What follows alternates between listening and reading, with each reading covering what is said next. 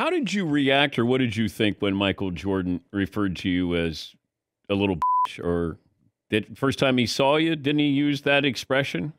I, it was. I don't think that was the first time he saw me. We was at the um.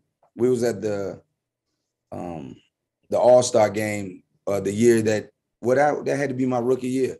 It was um the year that they gave out they was uh, they did the top 50 Yeah, um guys yeah. and um and I was I think I was coming off the court from something and I saw him and they were getting ready to go on because he had his jacket on and he just grabbed me. There's a, there's a photo out there with him having me like in a headlock and he was just like, you know, what's up, you little but no, it was no disrespect in it. And then I didn't take it that way anyway. I was just happy for him just saying anything to me.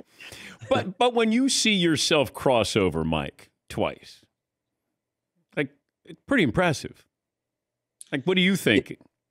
I mean, it, it was it was um it was against you know it was against Black Jesus, and I always I always told uh, my friends growing up, you know that um if I ever got an opportunity to try my move on the best that ever played the game, that I would, and um you know it was just a moment. It just happened, and you know I I backed them up, and I did it. And I I really didn't know the significance of it when it first happened, um because I was just into the game, just playing the game but then in the aftermath of everything and seeing it all on ESPN and you know all on the news and everybody talk about it, I was like, oh yeah, you know, I I, I really um I really did something. But you know, thinking back on it, um, I had got guys way worse than that, but it was just the fact that it was him.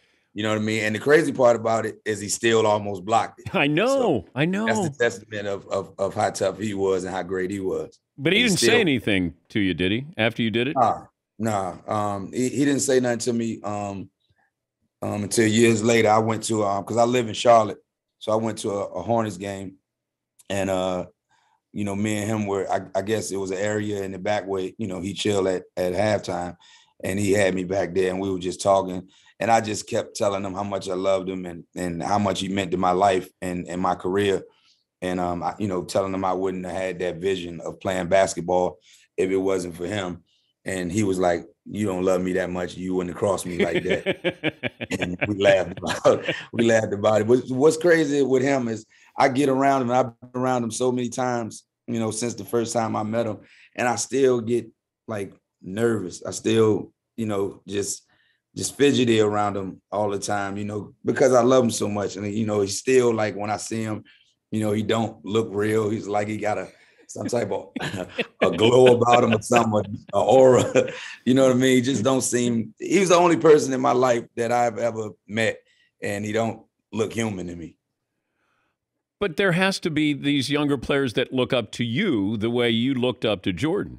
That's one of the greatest feelings in the world. You know, especially with me being here with my um, All American game. You know, with my classic, and you know the way they look at me, the way I have their attention when I'm talking, and um, it's just it, it kind of it, it it it makes me feel like okay, this how you was, you know, or this how you are with him, and it's just a great feeling to see that you know guys grew up off of me and um, you know love me the way I the way I love him. You know, it's just a it's just a blessing.